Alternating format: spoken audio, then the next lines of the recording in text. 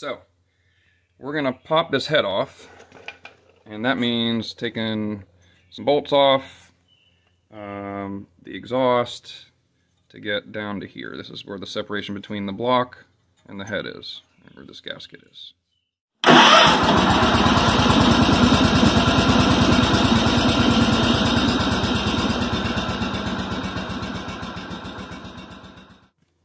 All right, so most of the time, I will be really, really thorough when I can. And this is one of those times where I'm not going to be as thorough as I normally would be, and I just wanted to say that right out of the gate.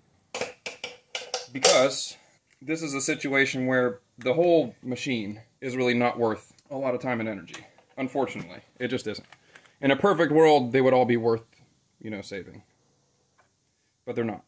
And so what we're going to do is we're just going to pull ahead with removing as few components as possible and as quickly as possible replace the broken components on the bench put it back together try it out. So let's let's get started.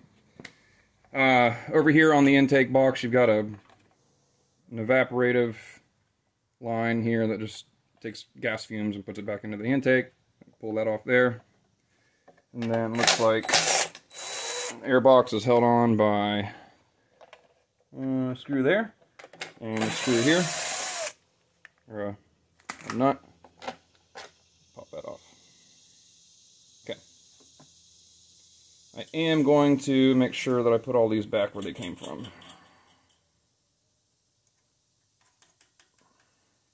I'm hoping to not remove the whole carb, but I might have to. Uh, let's get the fuel line pulled off of there.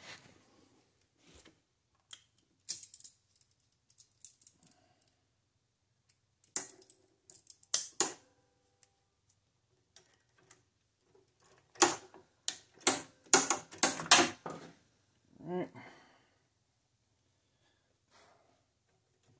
Okay. Valve cover is off. Intake. Uh, we're gonna try. Let's see what we can do here. Do I have to pull that off? Yeah. I think I am gonna have to pull the carb. Alright. I didn't want to, but let's see if we can save these gaskets too. I don't know what parts came with the kit. But I got to rotate this carb to get these linkages off, so we're going to take it off. I'm going to be as gentle with the gaskets as I can, I'm not entirely sure they came with the head kit that I got.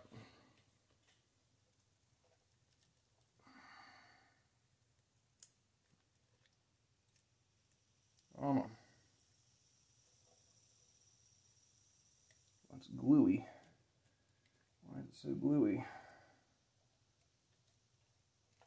Wow. A strange gasket.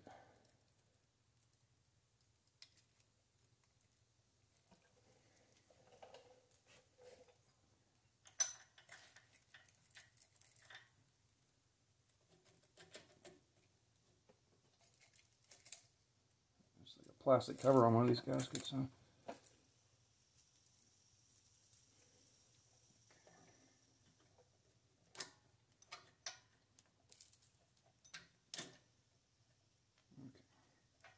We got a solenoid down at the bottom of the carb. We'll pop that off. There. Slide this guy out.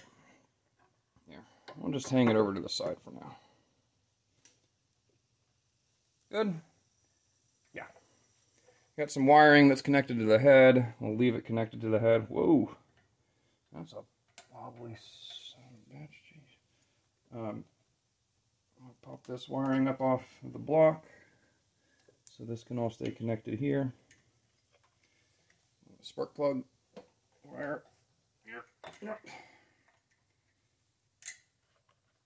And I think probably the easiest thing to do is just get this wiring out of the way because it's just one extra bolt.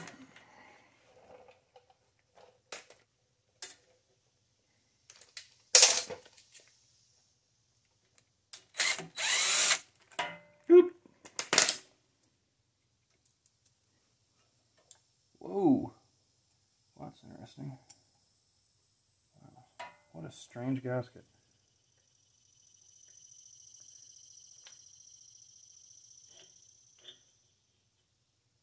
Man, that's weird. All right. I actually haven't focused much on these engines because I'm not really into them.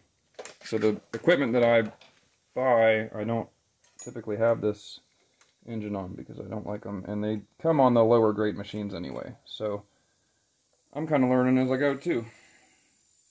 Okay, that stuff's out of the way. We're going to separate between here and here. So anything behind it has got to go.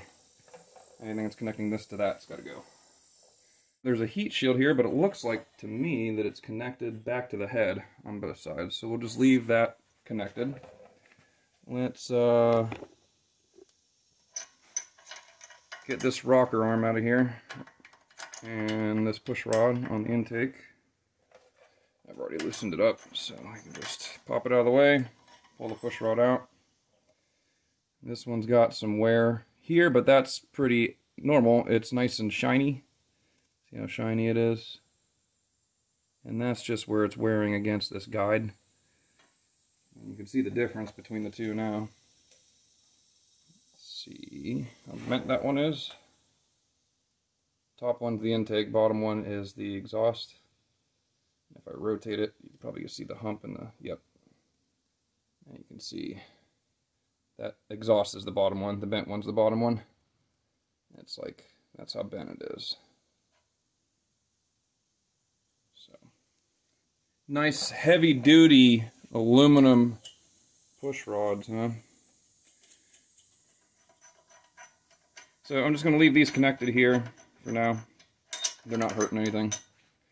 Uh, but when we slide the head forward, you know, the push rod's got to be out. So, Okay, now the exhausts. We've got intake, we've got ignition, we've got fuel. Now we're on to exhausts. You got a, a guy here, a little guy here. And then on this side, we got the exhaust pipe running up into here, and there's two bolts that hold on the exhaust over here. So, set you up there, you can see. So I'm working with our Torx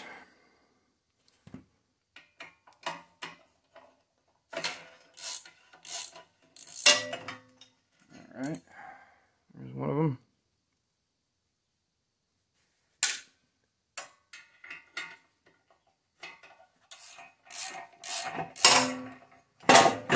Whee! Okay.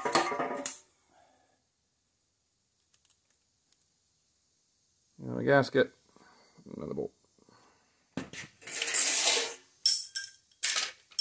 So this is what we've removed so far. Um, bunch of bolts. Now, we're to go pull this head off. Let's see what size jobs we're using here. What you got? Probably 13s? Yeah, 13s.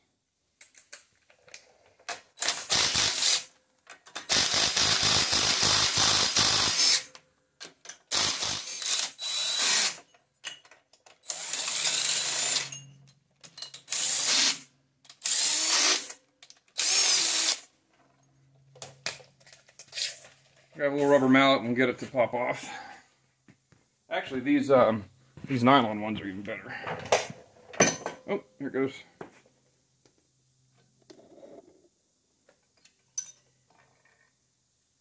There you go.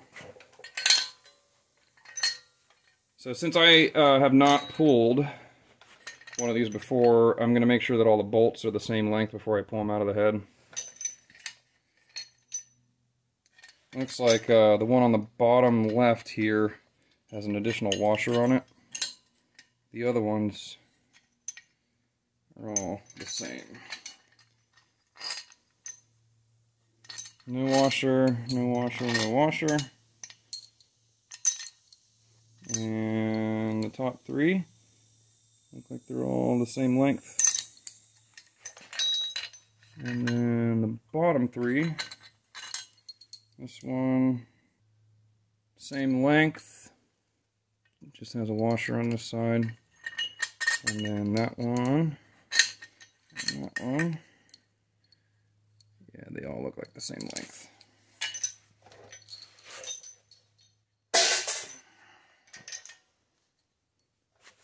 All right, let's go take it over to the bench and take a look at it. Okay, we've got the head over here on the bench. And before we pull these valves out to take a look at what's going on, I'm going to show you. This is the intake side. So on the intake, this is where the carb bolted on. You can see that guide, which is the, the, the real shiny small part is the valve stem. And above it is the guide. It's sticking into the intake port right there. Um, you know, half an inch or so. So that's the intake. We didn't have any problems with that one. The exhaust is over here. And you can see the stem, but you can't see the guide anywhere. Hmm. So, let's pop these out and see if we can get that guide to move back where we want it to be.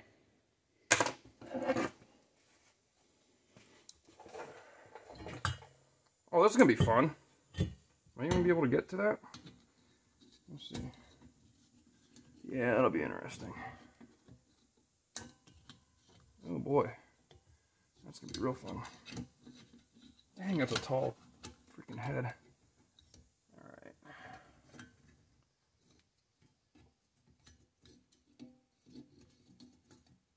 Yeah, I'll probably just get enough of it to compress it. Let's see.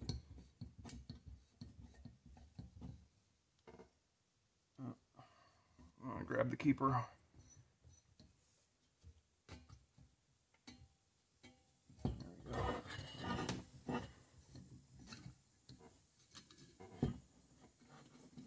You know it helps when you're um, rotating a thing if uh, you rotate the right direction, like for the work you're doing, that kind of helps. Alright, now we're bottomed out there. Can I get the keeper off? Maybe, maybe not. We're bottom down on the head right there.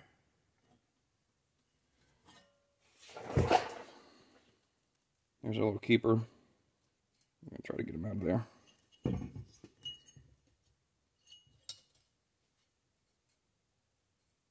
Yeah, we'll get him out. There we go.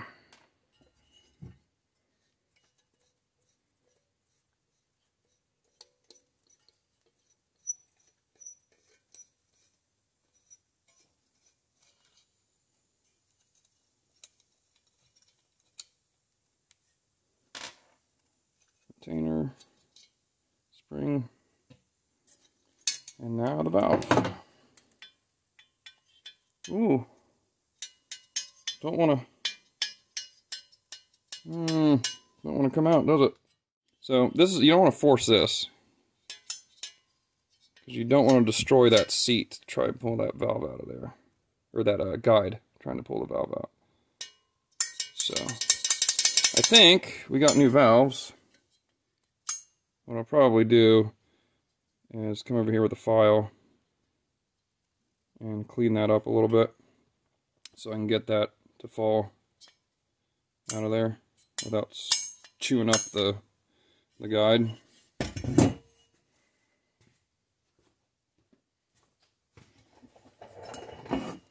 You can see this cooked hot stuff there. It's definitely gotten hot right there.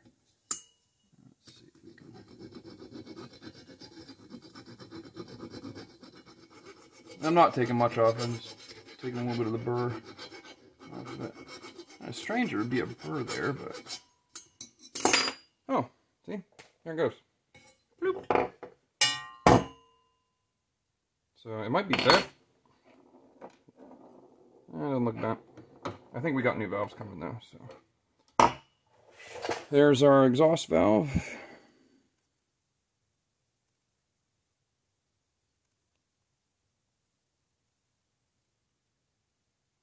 Nothing really to note there.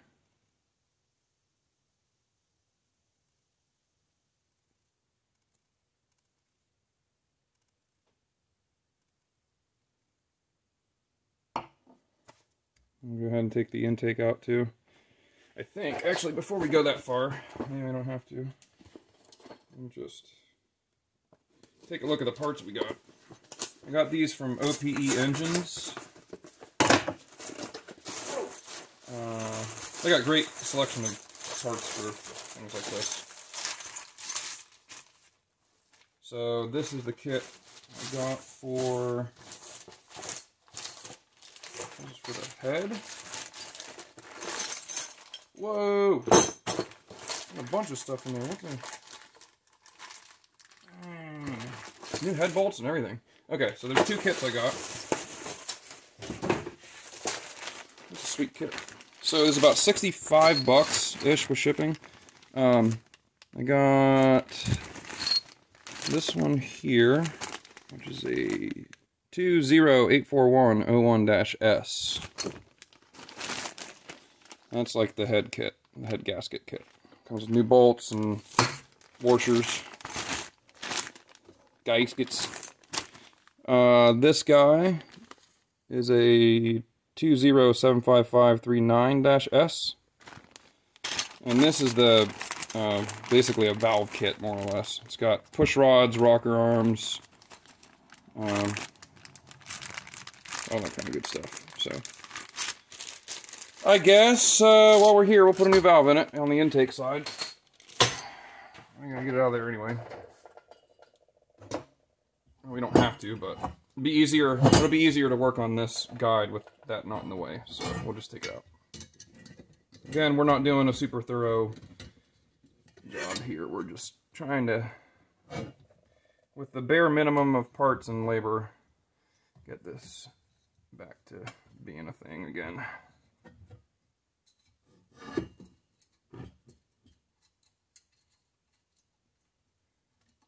Oh, Watch your eyeballs.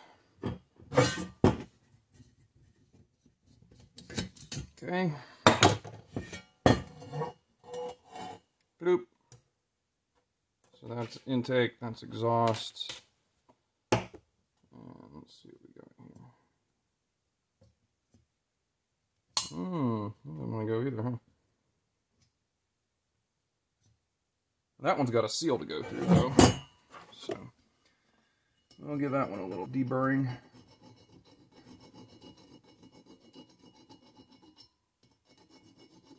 Huh. I wonder if it's because of the design of those keepers. That might be it. They're not a tapered seat keeper, like um, most engines. They're just a flat one. Yeah. There's our intake valve.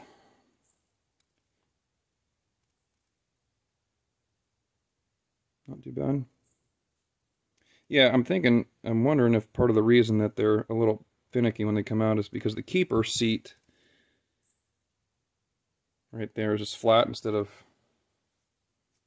well no I guess it's flat on all valves isn't it? I don't know.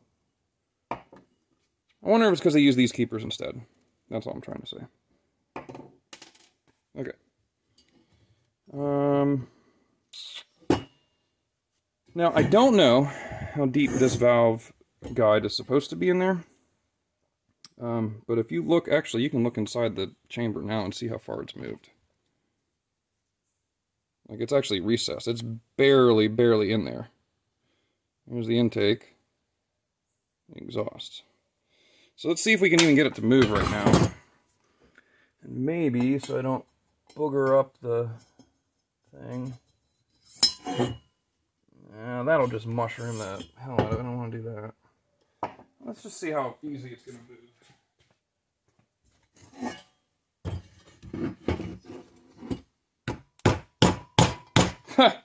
it's already moved quite a bit. Yeah, that was not a good fit. Just with that little nylon hammer, it's already moved like a bunch. I'm wondering if we can tell if there's any witness mark here from where it originally sat. So to me, I mean, it almost looks like it was... That's hard to say how far that should be down in there. Well, if we look at this one,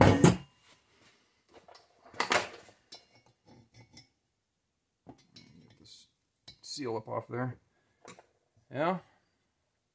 If that one's any indication, it should probably be pretty close to that. So we'll keep going.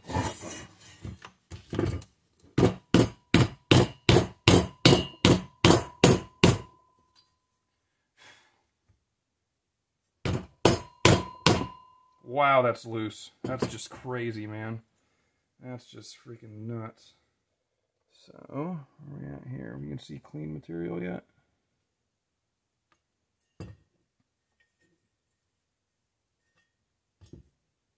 Yeah, I'm looking for any kind of witness mark in there.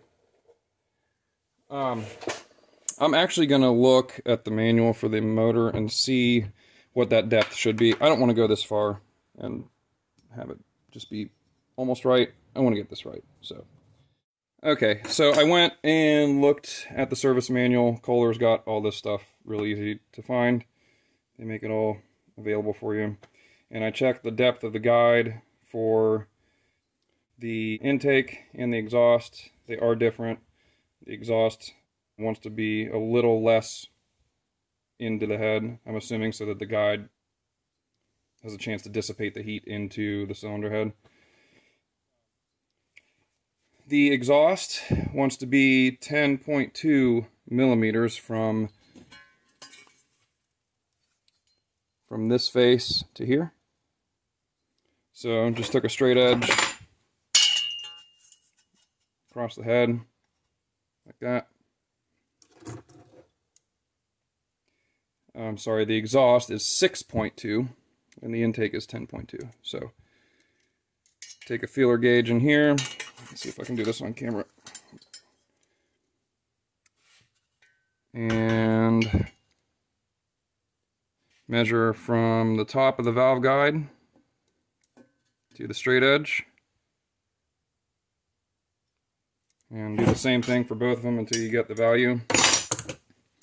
The uh, intake exhaust. So the exhaust is 6.2 millimeters from the face of the valve cover seat to the top of the guide. And the intake is a little deeper, a little further in at 10.2 millimeters down in there. So those are set. Now I'm going to go around and peen both of them. The intake had not moved, but the exhaust did. Uh, but just in the interest of making sure we don't have to go back in, I'm going to give it a tappy tap.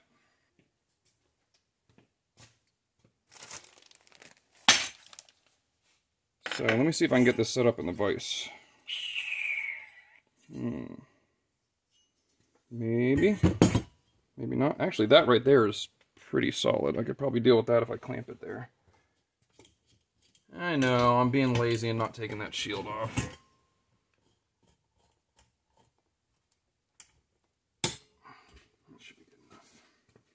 I'm going to take a, a, punch and a hamlet.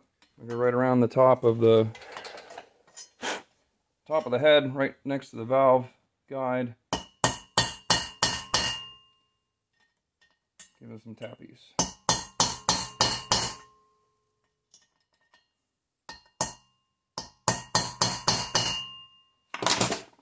I'll show you this one.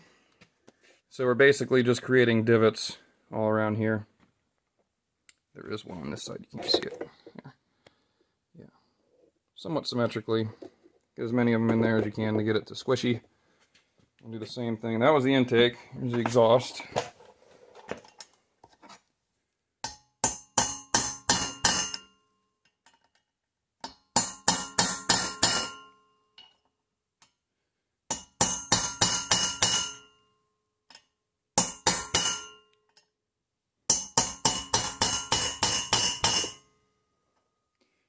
Go back around and give them all another good love tap.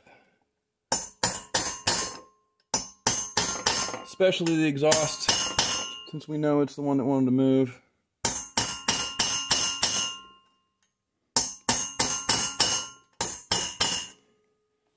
Theoretically, there should be no force on these. As long as the valve doesn't stick in the guide, there should be no force pulling or pushing on this. It should just be a guide. So, get back around on the intake.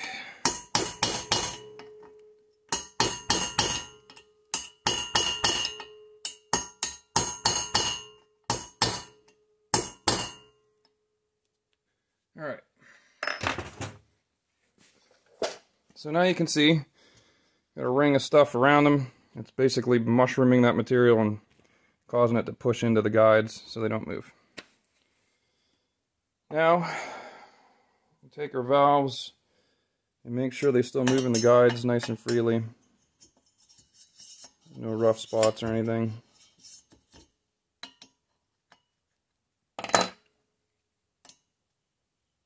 That one's got a little rough spot in it. Right at the top, huh?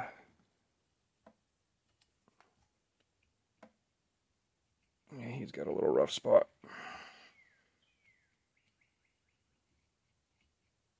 Come on, buddy. I'm not forcing the valve in, I'm just trying to open up the end of it. Here. Once I start feeling it break free, I'm just going to go easy with it.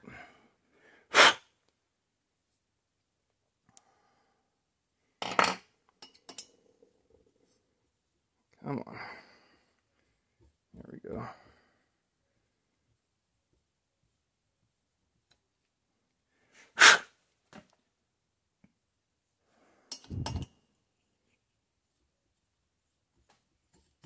There we go.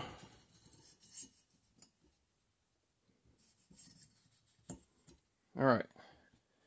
So everything moves like it should.